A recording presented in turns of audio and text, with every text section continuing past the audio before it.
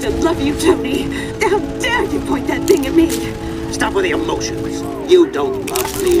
You love what I represent. You love being the Dude, do you even have a penis? Or are you one of those hermaphrodites born without genitals?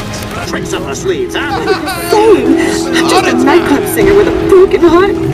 I You still suck love you, cock Tony. Now hold of yourself. You're in over your head and you're up bad here. about it. Damn. God damn it. The fuck you doing? Nothing. Really? Because I keep hearing hermaphrodite this, suck cock that. Go away. What? You know, go watch your linear entertainment. Go watch porn. Just go away. Shit. Fuck you! What the fuck? Disrespectful little asshole! I can't believe you did that. That's my TV. You don't talk to me like that! I can't believe you.